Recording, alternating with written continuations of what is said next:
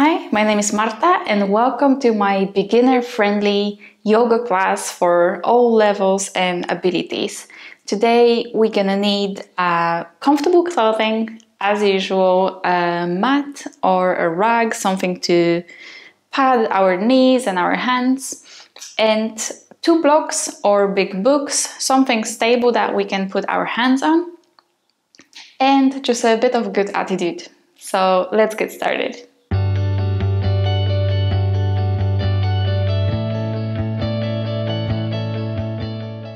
So let's begin coming to a cross-legged position to sit down, arrive here and begin to relax, connect with ourselves, forget about what's surrounding you, focus on the inside, the thoughts and the feelings. Try to tap into your inner world you can close your eyes, that will definitely help to get inside, make it easier to listen, and begin to take long inhalations and very deep and very slow exhalations to let your body know that it's all good and it's time to relax. Take a deep inhalation and exhale in your own pace as slow as you possibly can. Inhale again. And exhale very slowly. Try to keep being aware of your breathing and trying to expand your lungs and retract, taking full breaths. That will help you become connected with your body and kind of join everything together. And from here, let's move to all fours. So bring your knees underneath your hips and your hands underneath your shoulders. And let's begin with some gentle cat cows. I'm gonna move the blocks away so you can see me. So on the inhale, drop your belly and lift your head up. Push the mat away with your hands. And on the exhale, round your back, lift your heart space up and try to grow from your shoulder blades. And again, inhale, drop your belly. Belly button is being drawn all the way down. And head lifts up. And exhale, lift up. Lift your chest. Grow from your spine, round your spine, head down. And again, inhale belly down, look up, and exhale, chest up, head down, and grow. And slowly make your way back to center. And here we begin to move our spine in other directions. So lift your right hand and put it on the bottom of your head. So you're bending your elbow and you're supporting yourself with your left hand on the floor.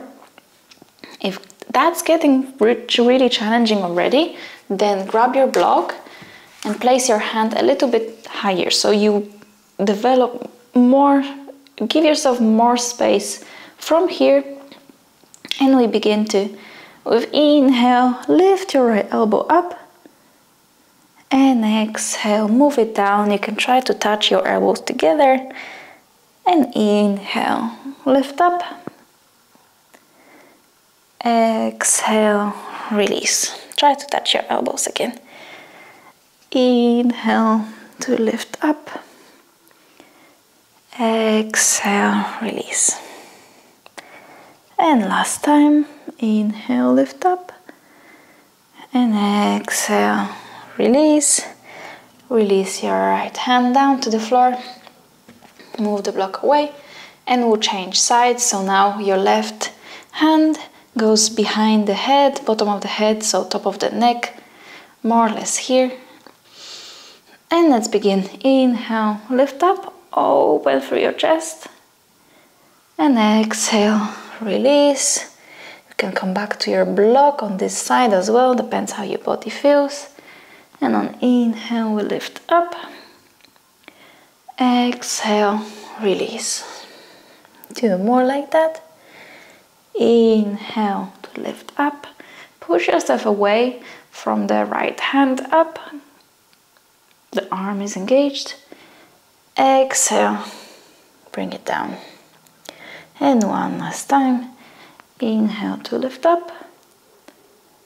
And exhale to release down. And here, try to make, begin to make some circles with your body, moving your wrists left to right. We still at warming up stage. And change direction, whichever way we were going, now we go the other way around.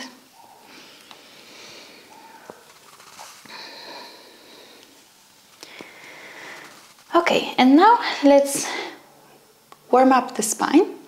So from here we'll be extending our um, parallel, no, we'll be extending our hands and legs on a diagonal. So extend your left leg at the same time as the right arm. I'm just demonstrating now, so don't worry and releasing and then we'll change the sides. Um, but let's um, let's try first how you feel about that because I have a really cool trick to help you make it easier. So let's begin with extending our left leg and the right arm. If that feels very wobbly that that is where the block comes in. So if you put it on, on your lower back, that will send a signal to your head to give you a bit of a feedback. It can be also a book if you don't have a block, that's no problem. Uh, so that will give you a little bit of a feedback of the position of your back. Therefore, it'll be much easier to stay balanced here because this is not really how we naturally spend most of our time. So, so our head gets a little bit confused. So let's try it like this. So extend your left leg and right arm. And see if that helped, if that improved. I hope it is much better like that. And release. Extend the right leg. Leg is straight and left hand forward. And slowly release. We'll try on the other side. Right arm, left leg. and hold. Stay stable here. And slowly release. And move to the other side. Extend your right leg, left arm, and hold here. Feel your best belly muscles activating. And slowly release. You can put your block away to the side. And from here, maybe. Oh, that's much better. Okay, so um, next step we will go for high lunge. So step your right foot in between your hands. Then tuck your toes under for more stability. So try to look at your toes whichever way um, and see if all your toes are closely glued to the floor. Look at your knee. See if that's a comfortable and stable position for you. and begin to lift up. Lift up here. You can place your hands on your knee and notice how you feel here, which muscles are working.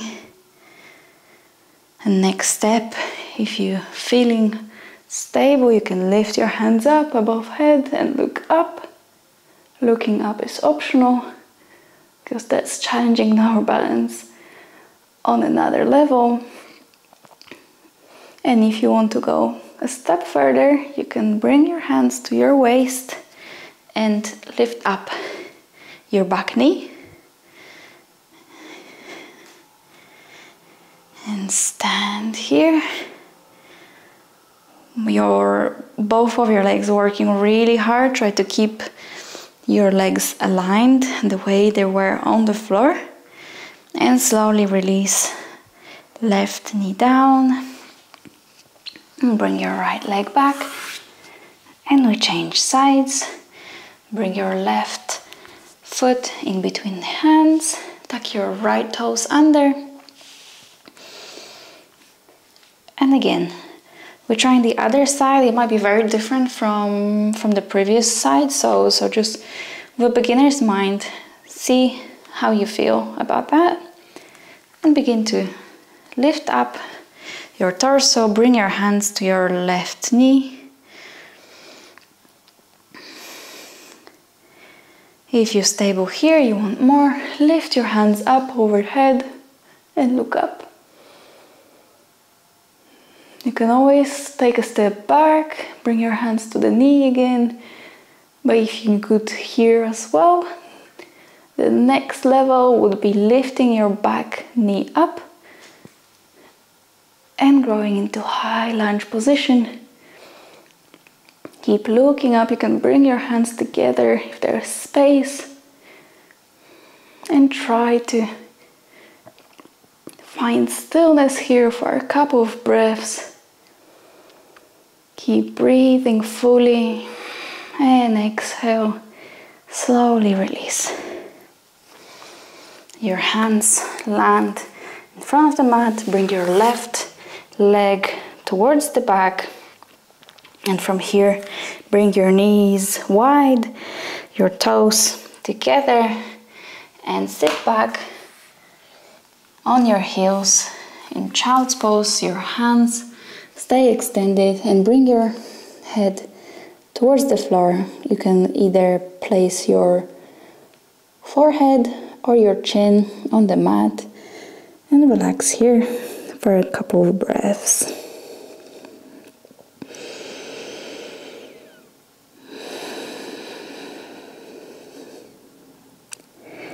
We're letting our back and shoulders open a bit more here.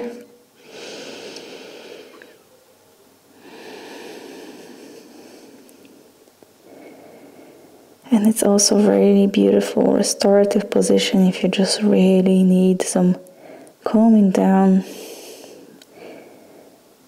This is a really nice place to be. And slowly begin to make your way back up. And from here, our hands are extended beyond our shoulders. So let's say shoulder is here, right? Your hand is a little bit further away. Bring your knees underneath your hips and lift your hips up. Bring your heels down towards the mat or downward facing dog. You can move, bend your knees, feel the position, how it works in your body. If your knees are bent, that's no problem. If your heels are away from the floor, that's also not problem. This is your dog now and today, and this is really just good, just normal. It's all a journey.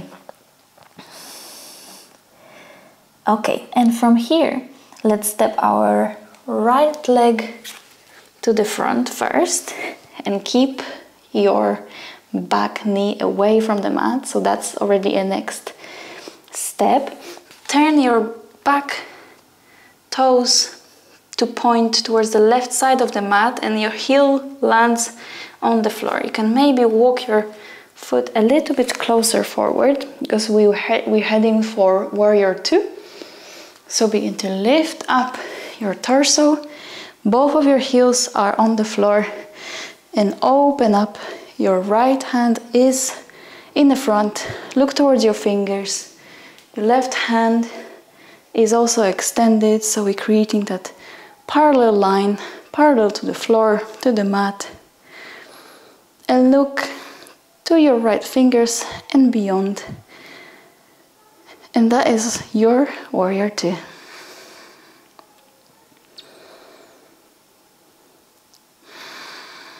Come back to your breath here. Deep inhale and long and slow exhale. We're letting our body know that it's all good here. And slowly begin to lift your hands up, straighten your front knee, and look towards the ceiling. And extend your hands, your legs stay straight. And now you look to your right hand again and begin to reach forward with your right hand and land. This is a good moment to grab the block and bring it on the inside of your right foot. And that's a great point for your right hand to land for a triangle. So extend here and look up towards your left fingers and slowly lift up Bring your block away to the side. We land our fingers on the mat where the right foot is now and we step the right foot back, coming back to our dog. You can move again, maybe click your fingers, notice how your ankle feel, your calves and hamstrings. And from here, step your left foot forward left foot forward, find your find your position, stability here. And again, we're gonna turn our back foot so our heel can land on the mat and maybe bring the foot a little bit closer so you have enough grip on the mat to come to the warrior two position Keep your front knee bent. Begin to lift your torso up. Find stability here. You can hold your hands on your waist or you can extend them for a full expression of warrior. Just gaze at your left and your right hand if they all aligned.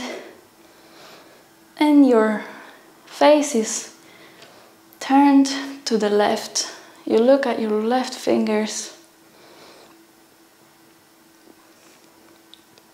Embrace the shake of your muscles. Feel the power growing in that buoyant position, in that proud warrior two. And slowly straighten your leg, bring your legs, bring your hands above your head and look up. You can join them. Take a slow exhalation.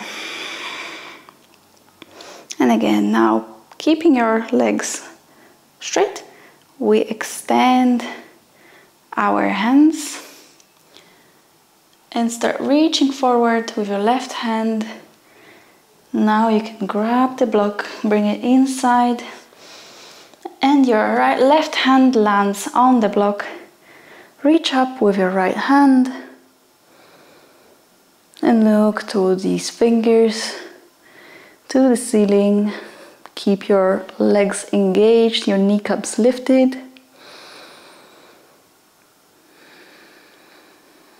And breathe here again. And slowly begin to release. Put your block away to the side. Hand land, hands land on the floor where your left foot is and step it back to downward facing dog again. Maybe now if you find some stillness, feel the opening in your shoulders, in your arms, your chest, but also the calves and the hamstrings.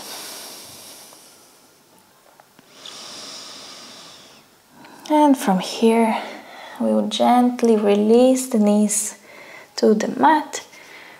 Move over to one side and bring our legs in front of us. A little bit bent. Keep them a little bit bent because uh, that will be easier to reach with our hands. So we're heading now for Paschimottanasana. With your index and middle finger, put it in between where flip-flops go and grab it from the outside with your thumb and slowly begin to walk your heels away as much as you can. If your legs, if your knees are away from the floor, that's completely fine.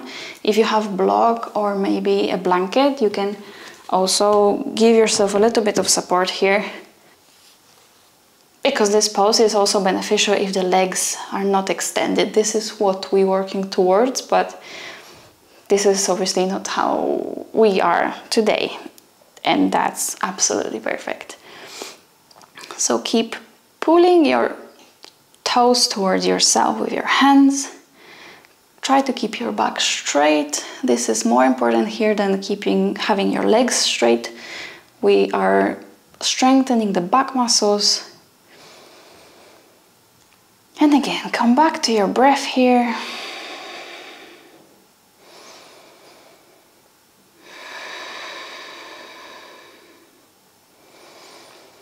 And over time, you might develop a bit more space. So maybe you can remove the block, maybe you can straighten your legs. Wherever you are, this is your place to be today. So embrace it and just think about all of it more as a process if you keep showing up to the mat, this is eventually where you'll be able to get. You can release your head a little bit and relax here.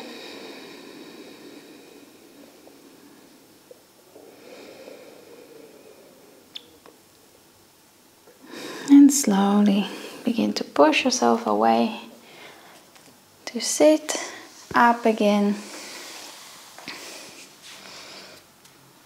And from here, we'll find our seated position of your choice. It can be cross-legged, a hero, so kneeling with um, like sitting on our hips. Wherever you're comfortable, you can also, again, use the block here to sit up on it and make it more cushy. It can also be a pillow. Bring your hands to your knees. Also, you can close your eyes again and breathe here again. Keep coming back to your breath, the most powerful tool you always carry with you.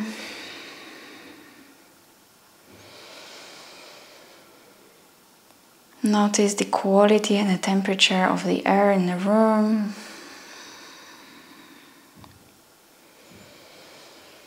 Notice how your nostrils grow bigger when you inhale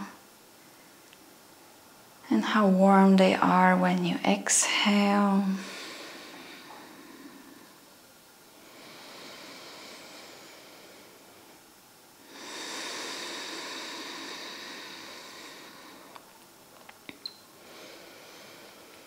I hope you enjoyed our short practice today and thank you so much for choosing my video. I hope to see you again soon.